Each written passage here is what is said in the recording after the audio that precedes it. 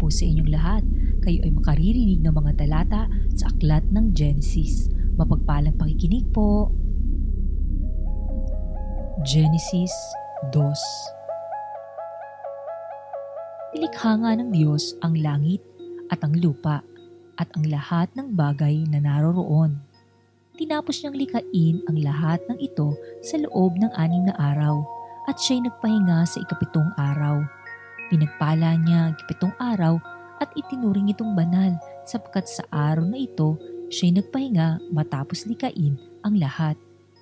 Ganito ang pagkalikha sa langit at sa lupa.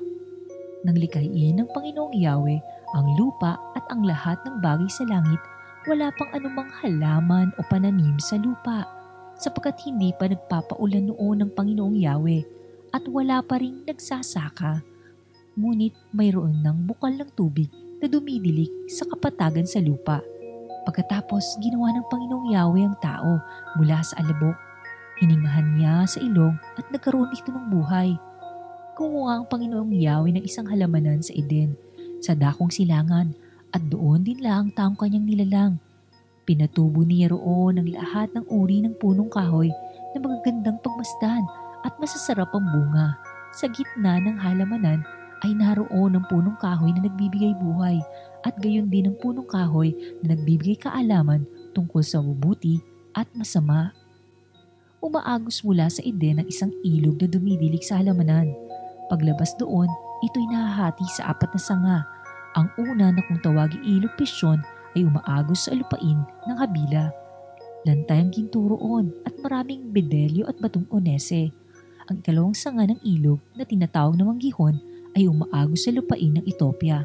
Ilog Tigris naman ang tawag sa ikatlong sanga at umaagos naman ito sa silangan ng Assyria.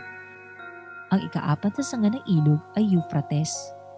Inilagay ng Panginoong Yahweh ang tao sa lamanan ng Eden upang ito'y pagyamanin at pangalagaan.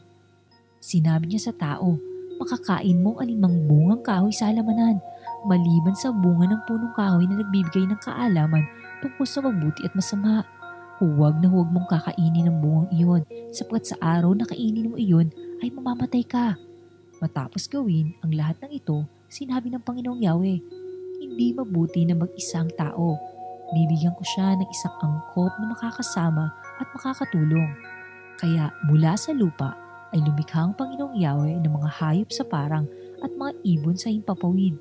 Dinala niya ang mga ito sa tao upang ipaubaya rito ang pagbibigay ng pangalan sa mga iyon.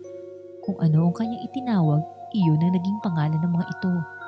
Ang tao nga ang nagbigay ng pangalan sa lahat ng ibon sa himpapawid at hayop sa parang, ngunit wala isa man sa mga ito ang nababagay na makasama at makatulong niya. Kaya't pinatulog ng Panginoong Yahweh ang tao Samantalang nahihimbing, kinuha niya ang isang tadyang nito at pinaghilom ang laman sa tapat niyon.